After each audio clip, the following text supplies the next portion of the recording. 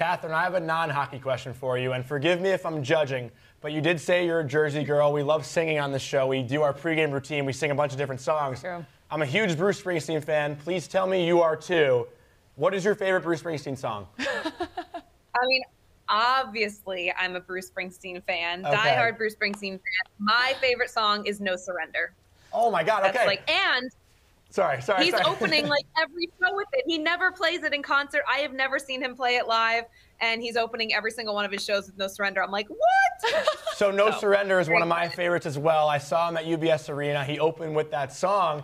And my favorite part about the Prudential Center, I am a Rangers fan. Everyone here knows that. But when the Devils lose on home ice, uh, No Surrender is the first song that plays in the arena. So I got to enjoy a Rangers win in round one and then sing No Surrender on my way down.